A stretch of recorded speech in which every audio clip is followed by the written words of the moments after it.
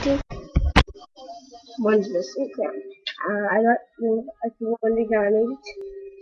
I glued crayons on top of the canvas, and then I got a hair dryer, which I'll dry, I'll glue, and I just use the hair dryer and across.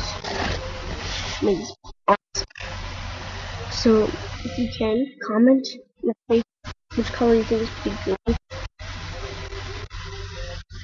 And like is awesome. Like really people like it. It's awesome. Bye guys.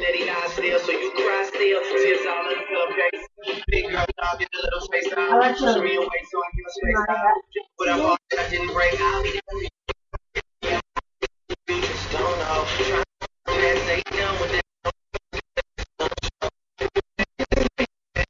When this come out, this come out.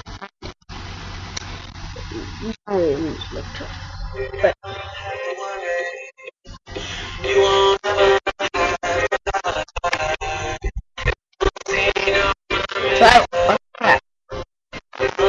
like and subscribe.